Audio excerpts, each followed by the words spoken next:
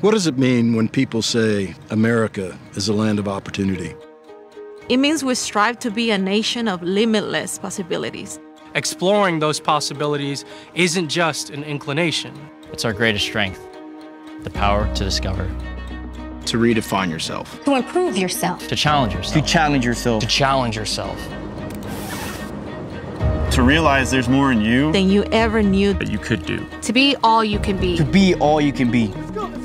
It means never assuming something can't be done. And if it's the right thing to do, never stopping until you achieve it. That's how the U.S. Army has succeeded since the founding of this country. Since the founding of this country.